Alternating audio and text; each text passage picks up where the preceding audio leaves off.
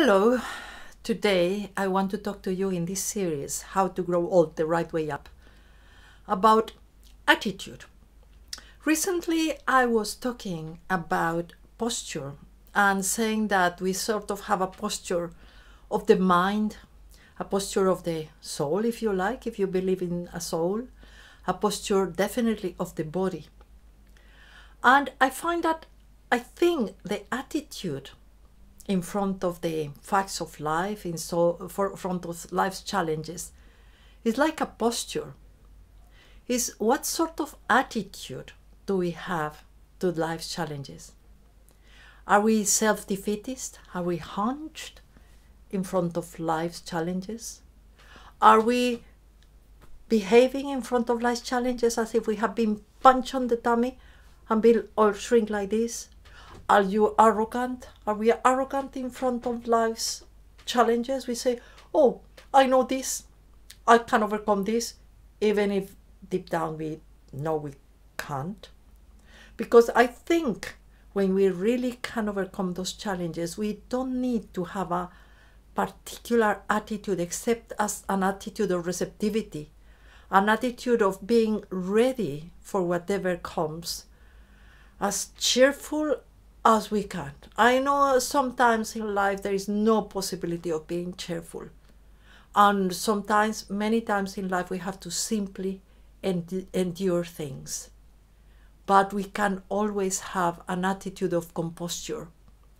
An attitude, I hope I'm pronouncing it correctly, I think is composure, composture. Well, apologies, you know what I mean. We don't have, don't want to have in front of challenges an attitude of I don't care.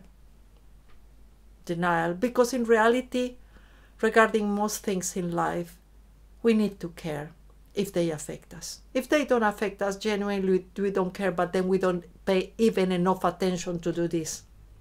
We just ignore them, as we ignored so many things about, well, we don't ignore the weather in this country, but I don't know why shouldn't we ignore it.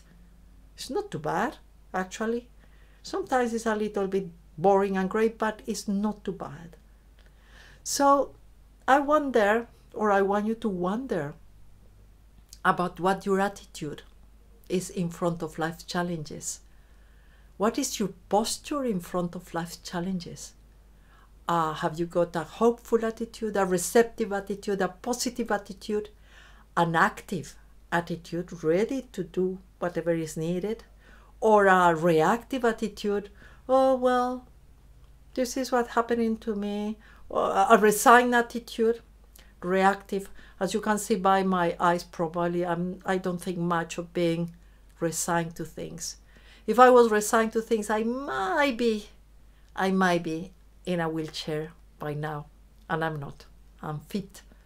And i have to say i have to confess i'm sorry. I'm very happy if you like what you see, please subscribe to these videos, to this series. And if you like it a lot, go to patreon.com, uh, look for Patrissia Cuberos, that's my name, and support my work. This is How to Grow Old the Right Way Up is a large, large project, project involving books and videos, big and small, with images and without.